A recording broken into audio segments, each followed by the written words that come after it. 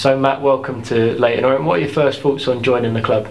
Uh, just delighted, really. I mean, uh, it's a club that um, that I knew. Obviously, uh, growing up around here, I uh, I grew up in Walthamstow and moved to Woodford. So um, it's a it's, and I was born in uh, in Whipps Cross. So it's a club I know quite well. I used to uh, used to get free tickets from the soccer schools and and come down and watch. So no, it's a it's a it's a big club. It's and it's I'm just really excited to be here and and hopefully uh, get the place where it where it belongs. You know.